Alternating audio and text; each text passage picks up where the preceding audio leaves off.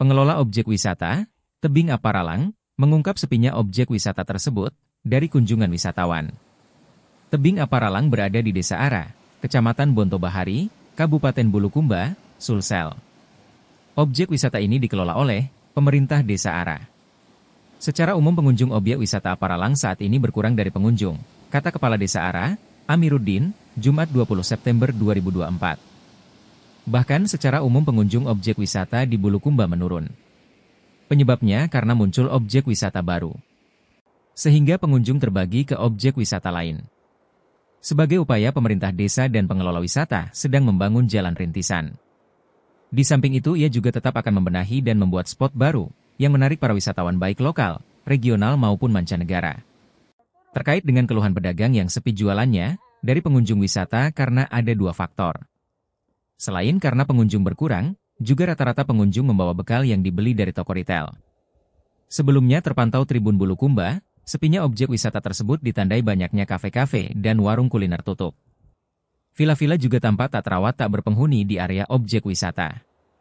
Sebagian akses jalan masuk ke objek wisata ini masih bergelombang dan masih jalan cor yang mulai terkelupas.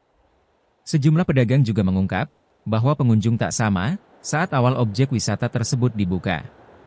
Berbeda di objek wisata Tanjung Bira Bulukumba.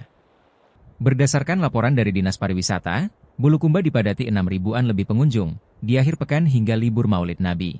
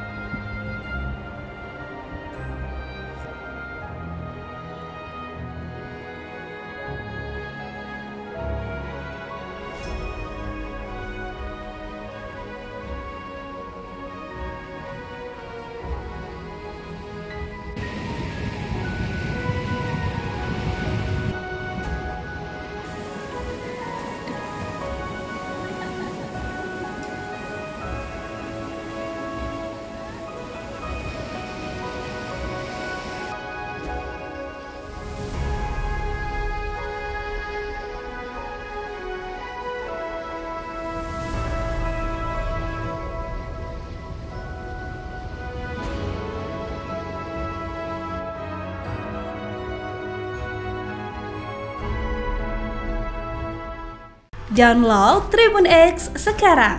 Menghadirkan lokal menjadi Indonesia.